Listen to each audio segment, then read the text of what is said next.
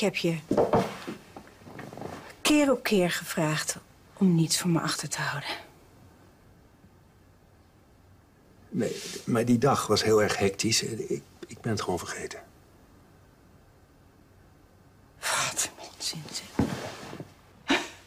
En waarom heb je het me vanmiddag niet meteen gezegd dan? Met al die politie om ons heen. Je hebt weken de tijd gehad om het tegen me te zeggen. Ik ben het oprecht vergeten. En je denkt echt dat ik dat geloof? Maar waarom zou ik zoiets opzettelijk voor je Nou, verzwijgen? misschien omdat je donders goed wist dat Richard gearresteerd zou worden. En dat hij dus waarschijnlijk ook zou gaan praten. Dat je dit namelijk allemaal hebt voorgekookt.